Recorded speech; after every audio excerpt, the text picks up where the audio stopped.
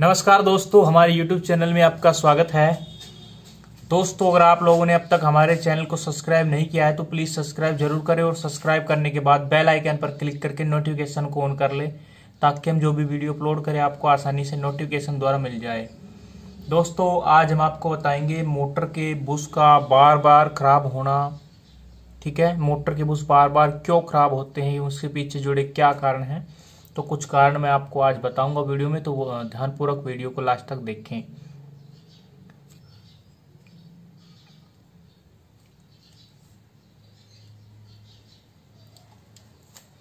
दोस्तों, मोटर के जो बुश होते हैं, वो कुछ इस तरह के होते हैं। ये उसका परत होता है बुश का। जब ये परत घिस जाती है अंदर से, दोनों साइडों से तब उसको मानते हैं कि बुश कट गया है। और इसके अंदर बिल्कुल एक सापट होती है, ऐसे बिल्कुल फिट होती है, सटी होती है। जब तक कि बिल्कुल सट के चल रही है, जब तक बुशिंग सही है, नॉर्मल है। लेकिन जब इसके अंदर गैप बन जाता है, सापट और बुश के अंदर गैप बन जाता है, ढीला पड़ जाता है, तब बोलते हैं कि बुश कट गया। फिर इस कंडीशन में क्या होता है? जो रोटर है मोटर का, ये जो मोटर का जो रोटर है, ये वाला ये फिर स्टेटर, मोटर का जो स्टेटर होता है, उससे स्लोट जो होती है, उससे टकराता है और मोटर फिर जाम हो जाती है या स्लोट घूम जाती है। तो इस कंडीशन में हमको ये बुश बनवाने पड़ते हैं। तो आज मैं इसका कारण बताऊँगा कि ये जो बुश है, ये बार बार क्यों कटता है, क्या कारण होते हैं? ठीक है? दोस्तों, सबसे पहला जो मेन कारण है, वो डिपेंड करता है बुश के साइज़ पे। ठीक है? एक बुश है, जिसका साइज़ इतना है? ठीक है? एक बुश है, जिसका साइज़ इतना है? अब देखिए दोस्तों, जो ये छोटा वाला बुश है, इसके अंदर नॉर्मल छोटी वाली सापट ही डलेंगी, छोटी सापट डलेंगी इस रोटर में नॉर्मल छोटी सापट ही होगी। ठीक है? इस तरह से। तो ये बुश जो है बहुत ही ज़्यादा कम चलेगा। और जो लंबा बुश है, ये डबल बुश का लगभग कार्य करता है अकेला ही। तो इसके अंदर जो सापट होती है, वो लंबी होती है रोटर की। ठीक है? और सापट लंबी है, और बुश भी लंबा है। तो यहाँ पे बहुत ही धीरे धीरे ये बुश कटेगा स्लोली स्लोली ये बुश जल्दी कट जाएगा एक। तो समरसीबल मोटर के अंदर दो बुश होते हैं।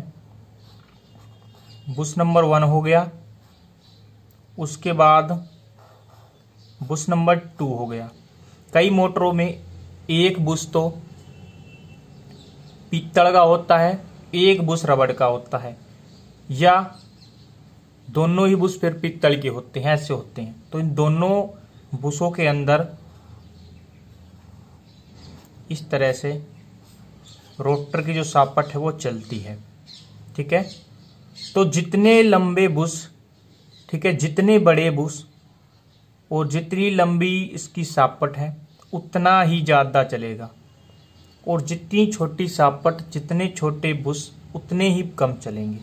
तो ये तो होता है मोटर का पहला इसका कारण बुशिंग का। ठीक है? ये तो पहला हो गया। एक मोटर में छोटा बुश है, छोटी सापट है तो एक कम चलेगी। एक मोटर में लंबे बुश है, लंबी सापट है, बड़ी सापट है तो ये ज़्यादा चलेगी। अब आते हैं दूसरे पॉइंट पे। तो एक कंपनी के ऊपर डिपेंड करता है कौन सी कंपनी की आपकी मोटर है, उस हिसाब से बुश चलते हैं। ठीक है?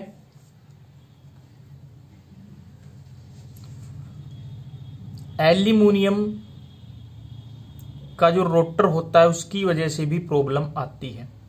ठीक है? और कारण हो और और मैं दूसरा सेकंड कारण मैं बता रहा हूँ, पानी का मोटर के अंदर कम हो जाना, ठीक है? ये मोटर है। इस मोटर के अंदर यहाँ पर बुश लगा हुआ है, यहाँ पर भी बुश लगा हुआ है। इसके अंदर सापट है, रोटर है, ठीक है, रोटर। अब होता क्या है? यहाँ पे वाइंडिंग होती है साइड में, और इसके अंदर पानी भरा होता है। अब ये पानी जो होता है ना, मोटर के अंदर जो भरा होता है, ये वाइंडिंग के लिए वाइंडिंग को ठंडा तो करता ही करता है, साथ में बुश के अंदर ऑयल का कार्य भी करता है। अगर पानी बुश में नहीं होगा तो बुश बहुत ज़्यादा गर्म होंगे, घर्षण ज़्यादा होगा उसमें, और बुश बहुत जल्दी कटेंगे। तो ये कारण होता है पानी का कम होना। कई बार क्या होता है, मोटर बार बार रिपेयरिंग होती है, जिससे उसमें पानी की समस्या हो जाती है लीकेज हो जाती है। ठीक है? जो मैकेनिक होता है, उसको अच्छे से सेट नहीं करता, उसमें नई रबड़ और सील नहीं डालता है। उस कारण बार बार उसका धीरे धीरे करके टपका टपका करके पानी निकलता है। फिर जब मोटर चलती है तो प्रेशर ज़्यादा होता है। उस कंडीशन में पानी और ज़्यादा निकलता है और उस कारण बुश में पानी ना जाने के कारण, कम जाने के कारण मोटर का जो बुश है, वो धीरे धीरे बुशिंग खराब होती है बुशिंग कटती है, सापट भी कटने लग जाती है। तो ये दूसरा एक कारण होता है। तीसरा जो है दोस्तों, अगर मोटर आपकी ऐसी जगह लगी है, जहाँ पर बजरी ज़्यादा है, बजरी ज़्यादा है, और वो बजरी धीरे धीरे आपके पंप के अंदर जा रही है तो पंप के जितने भी बुश हैं, वहाँ पर उन सभी बुशों को डैमेज करेगी, पूरा के पूरे पंप को बहुत जल्दी काट देगी, खराब कर देगी। और मोटर के अंदर अगर चली गई, मोटर के बुश के अंदर चली गई तो उसको भी काट देगी। तो जब, जितनी भी बजरी वाली जगह है, जैसे पहाड़ी एरिया है, वहाँ पे बजरी टाइप की ज़्यादा होती है, ठीक है? तो बजरी टाइप की मिट्टी होती है नीचे तो उस मिट्टी और बजरी का मिश्रण होता है, वो बुश के अंदर अगर चला गया, उस कंडीशन में बुश बहुत जल्दी जल्दी खराब होंगे। फिर आप कितने ही अच्छे क्वालिटी के बुश लगवाओ, ठीक कितनी अच्छे तरीके से बुश बनवाओ। अगर मोटर की सील खराब है, ठीक है, सील खराब है मोटर की तो प्रॉब्लम होगी। सील, कौन सी वाली सील? ये आपकी मोटर है, यहाँ पे बुश लगा होता है ऊपर का हिस्सा है। यहाँ पे सील होता है, उसका कार्य होता है कि कुछ भी बाहर का अंदर ना जाए। ठीक है? अगर ये सील कमज़ोर है, खराब हो चुकी है, आपने बदली नहीं है, आपने रिपेयर करवाई है, मोटर बदली नहीं है तो यहाँ पे मिट्टी जाएगी इसके अंदर बुश के अंदर। और मिट्टी बुश के अंदर जाएगी तो बुश में बहुत तेज़ी से बुश कटेगा। ठीक है? ऐसा ही सेकंड बुश के साथ भी होता है। ठीक है? तो जितनी ज़्यादा मिट्टी जाएगी, उतने ही जल्दी बुश आपकी मोटर का कटेगा। तो इस सील की प्रॉब्लम के कारण भी होता है कि बुश बार बार खराब होने लगता है। ठीक है?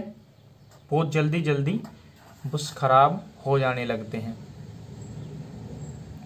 अगला पॉइंट है दोस्तों कि जो बुश हैं, आपने जो बुश डलवाए हैं, वो बहुत ही ज़्यादा ख़राब क्वालिटी के हैं।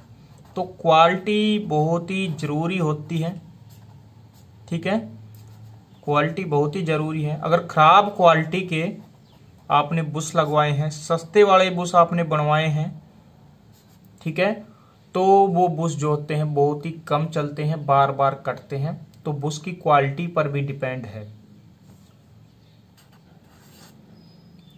छठा पॉइंट है दोस्तों कई बार क्या होता है, मोटर के जो कार्बन बेरिंग होते हैं थ्रस प्लेट जो होती है, वो कटी होती हैं, खराब होती हैं।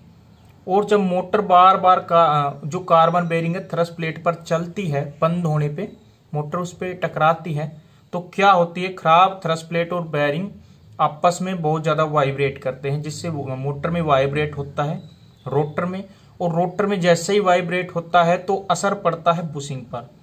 तो उस कंडीशन में बार बार रोटर का वाइब्रेट होने से थ्रस प्लेट बेरिंग खराब होने से बार बार अगर रोटर जो है वाइब्रेट करेगा तो बुश पर इसका सीधा असर पड़ेगा और बुश बहुत ही जल्दी कटेंगे उस कंडीशन में।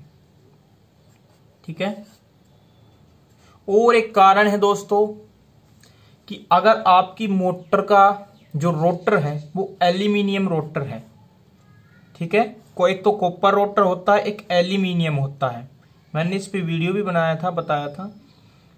तो इसके अंदर जो छड़े होती हैं, अगर ये कॉपर की है तो कॉपर रोटर है एल्यूमिनियम की छड़े हैं रोटर के अंदर तो ये एल्यूमिनियम रोटर है। अब दिक्कत क्या है कि जो छड़े होती हैं एल्यूमिनियम की, ये धीरे धीरे रोटर आपका खराब होता है। खराब रोटर की बात कर रहा हूँ। खराब रोटर में धीरे धीरे छड़े हैं। ये अंदर से निकलने लगती है। इसमें एल्यूमिनियम भरा होता है। वो एल्यूमिनियम धीरे धीरे निकलता है और आपके जो मोटर हैं, उसके बुसों में चला जाता है। यहाँ पर आपका मोटर का बुस लगा हुआ है। इस बुश के अंदर यहाँ पे चला गया। बुश और सपट के बीच में। अब इस कंडीशन में क्या होगा कि बहुत ही ज़्यादा यहाँ पे घर्षण होगा। बहुत ही जल्दी बुश कट जाएगा इस कंडीशन में। ठीक है? तो ये कुछ कारण होते हैं जिनके कारण आपके मोटर के बुश बार बार खराब होते हैं। आप बार बार रिपेयरिंग करवाते हैं बार बार रिपेयर उसको करवाते हैं बुश को, लेकिन बार बार वो फिर से खराब होने लगते हैं। ठीक है?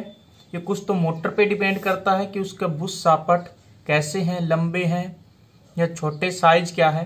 साइज़ बहुत ज़्यादा मैटर करता है इसमें। साइज़ बहुत ज़्यादा ज़रूरी है साइज़ देखना। और फिर प्रॉब्लम है कि जगह देखनी होती है कि किस जगह आपकी मोटर लगी है।